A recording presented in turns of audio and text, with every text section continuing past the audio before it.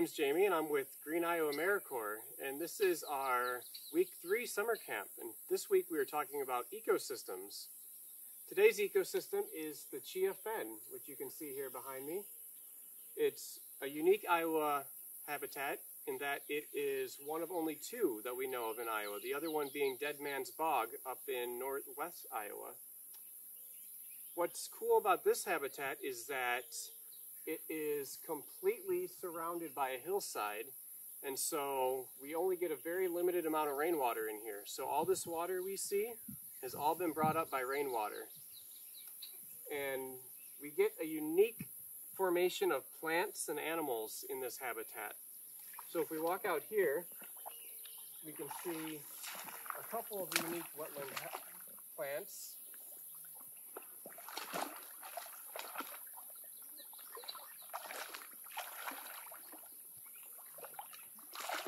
Right here we have what's called the arrowhead. This is a plant that only grows in wetlands and it looks like an arrowhead.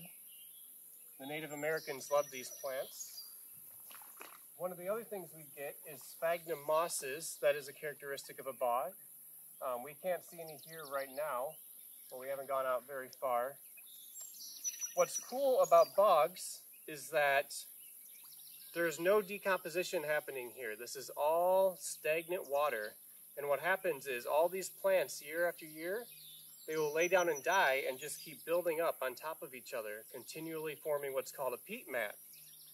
Now, a peat mat is just a clump of decomposing plant litter like this, and it slowly decomposes, slowly, slowly building up.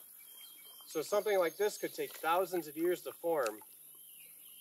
But the neat thing about peat mats is that they literally can float on the water. So all of this, all these plants you're seeing here, they're all floating on the water on this peat mat. And if you watch this, you can see how it ripples. I think that's really cool. One of the other neat things about bogs is that they are one of the few places where carnivorous plants grow. And the reason for that is because a bog has very little nutrients. So what the plant needs to do is it needs to catch bugs in order to gain nutrients. And that is how it survives in something that this that is this nutrient poor. Now I mentioned that the geology earlier, and you can see that we have this rim surrounding us. And so there's no fresh water coming into here. And what that means is that we only have very limited supply of water here. So what makes the geography of the fen special? Well, first we have to look at, it's at the top of a hill inside of a depression here. And this depression is surrounded by impermeable soil and clay called an aquitard. And that keeps the water that is coming in stuck. That, that water has nowhere to go. There's no drainage and there's no other place for fresh water to come in other than from the rain.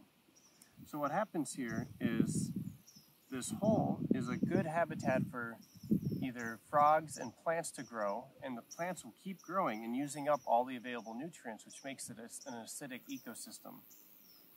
So as the plants are growing, they're dying and creating more of a layer here in the hole, and this layer keeps filling up and filling more and more with peat, which gives it that wavy texture that we saw earlier.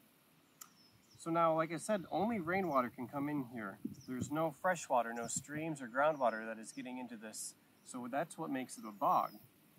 If it were a fen, like its name is, then we could take out this portion right here and we might assume that either some groundwater is, is swelling up, or we could take out this portion right here and say that groundwater or a stream is coming in to the system and giving it more fresh water, which would make it more basic, and then it would become a fen. So in this bog, we have a lot of vegetation here. We have a lot of algae and duckweed. It's all this little green stuff floating at the top.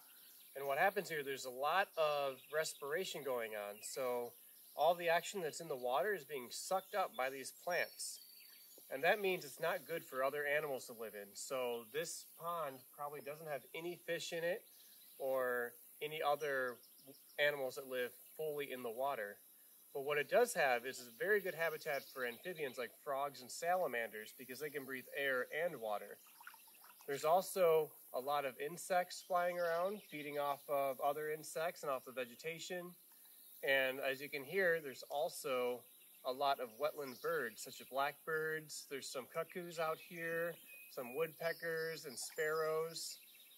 And it's, it's a very, even though it, it's a lot of stagnant water and not a lot of minerals and nutrients, there's still a lot of life that can live out here. Now we are going to be talking about floodplain dynamics and why they're important for our ecosystems. So we're here at the Cedar River. This is up right next to Solon and Sutliff Cidery. And we have the river, which is getting a little bit high, but it's not quite flooding yet. What you can see all around us here is what we call the floodplain. And you can see how some of the plants are laying down flat just because they've been washed over by water previously.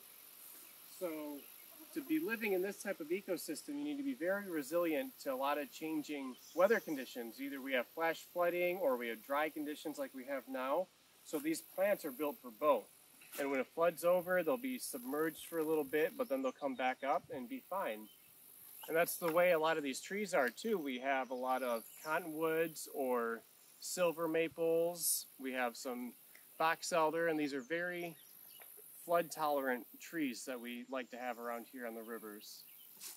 Now the important thing for the floodplain is that the rivers by themselves are not very nutrient rich.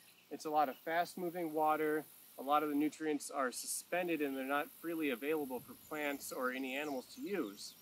So what happens is when the floodplain is washed over, a lot of the nutrients that are stuck in the ground here get brought back into the river system to be used up later.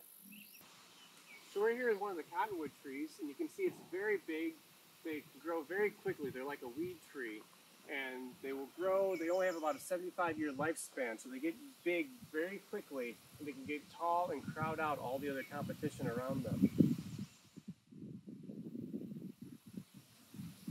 So we're at one of the channels here in the floodplain for the Cedar River, and the channels here make very important environments also. There's a bunch of different characteristics. So for one thing, we can see that there's some pools out here which are called what we call ephemeral pools, and that means that they come and go with the water cycles.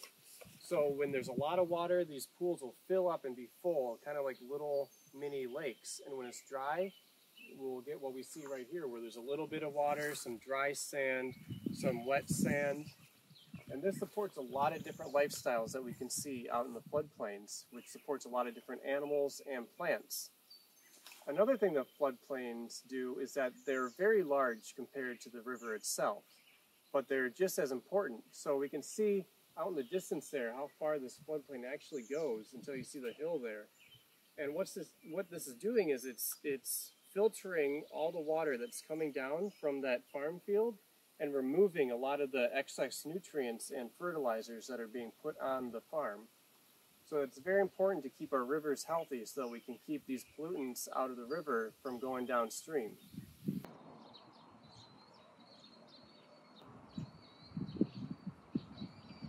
So we're here at City Park in the city of Iowa City, and this is a spot which is known to flood regularly. So we can see it's already flooding a little bit from recent rains that we've been having. And as you can see behind me, you can see Mayflower, one of the dorms here, and they've built a flood wall there to protect it from flooding. In 2008, there was a really big flood that came through Iowa, and Mayflower is one of the places that was damaged by this flood. So in order to protect it from that, they built the wall. But if we would have just not built on a floodplain in the first place, it would reduce the need to have to change a river system like this. So now what's happening here is that when it floods, which is a natural occurrence for flood or for rivers, which is what the river needs, it's it's losing access to the nutrients on that side of the river, and it pushes more water onto this side.